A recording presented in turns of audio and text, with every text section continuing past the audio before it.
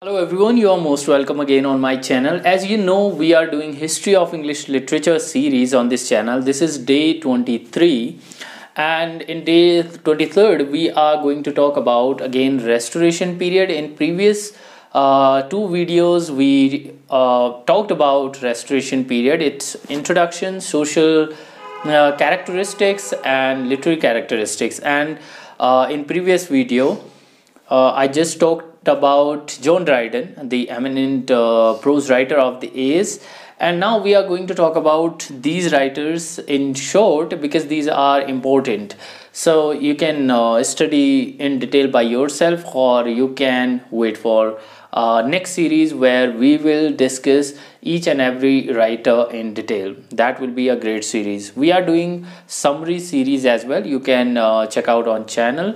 Uh, there are nine summaries are uploaded already so let's start today's video. First is john dryden as you can see here. John dryden's work essay on dramatic poesy is very important work to study. John bunyan. John bunyan you can see uh, Grace Abounding is his work. The Pilgrim's Progress, the most uh, famous work is, and it is about the journey of Christian the Pilgrim from city of destruction to the celestial city. And next work is Life and Death of Mr. Badman, and this is a story, and the Holy War, and that is allegory.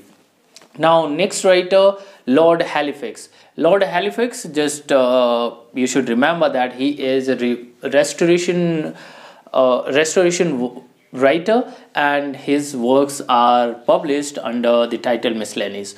Now, next is Sir William Temple. His letters got published in 1700 and 1703 memoirs. Memoirs were written in 1691 and miscellanea a series of essays were written in that period by sir william temple. Now let's come to the uh, next part. Thomas hobbes. He was a great political thinker of the age and uh, because they were using prose as uh, the medium of writing uh, medium of uh, you know conveying their thoughts so they also helped English literature uh, to develop.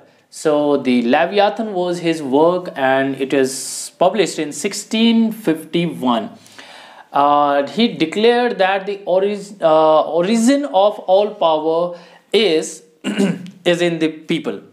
So this was, or you can say, democracy. The idea of democracy was, uh, you know, taken from the Leviathan, 1651 and next is Sir John Locke. So Sir John Locke wrote treatises on civil government and people have right to take away the power from ruler and the ruler is responsible for the trust uh, reposed on him and the third one the important uh, uh, ideas written in the treaties of civil uh, government.